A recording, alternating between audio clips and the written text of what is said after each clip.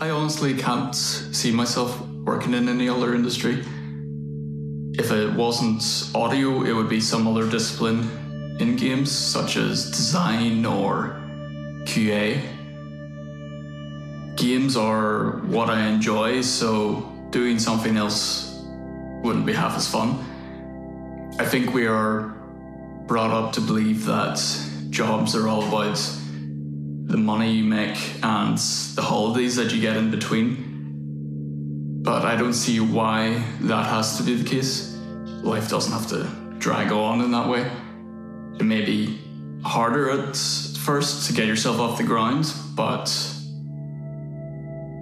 in the end, it's well worth the effort that you put into it.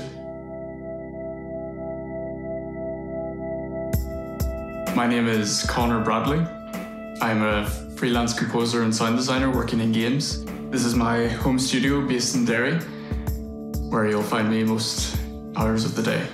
It wasn't until I saw an interview of Jason Graves speaking about the dynamic music system they used in Dead Space that I basically decided there and then, well, this is very cool. I wonder if it's possible for me to do something like that. The way I like to look at game audio is when a game is first launched, all of your audio is loaded into the background, ready to be triggered at any time by the code. So, for example, say the player walks into a mysterious forest.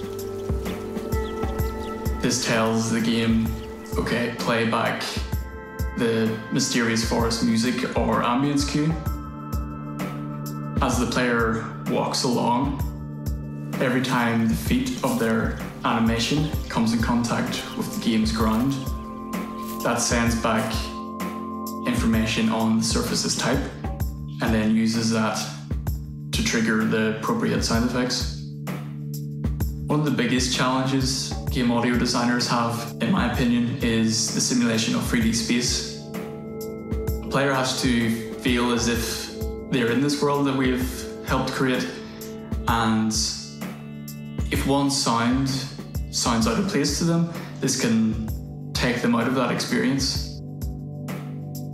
In almost every case, when first brought onto a project, the game will still be in development and the lead will have a fair idea on how they want it to sound.